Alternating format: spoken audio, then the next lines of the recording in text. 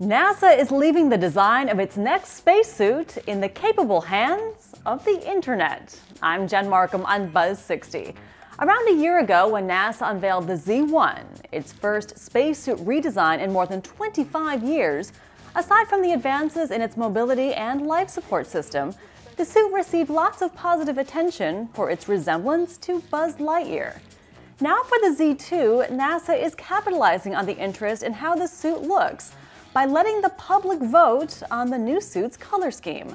Voters can choose among biomimicry, which is influenced by sea creatures' bioluminescence, technology, which integrates light emitting patches, or trends in society, which is inspired by athletic wear.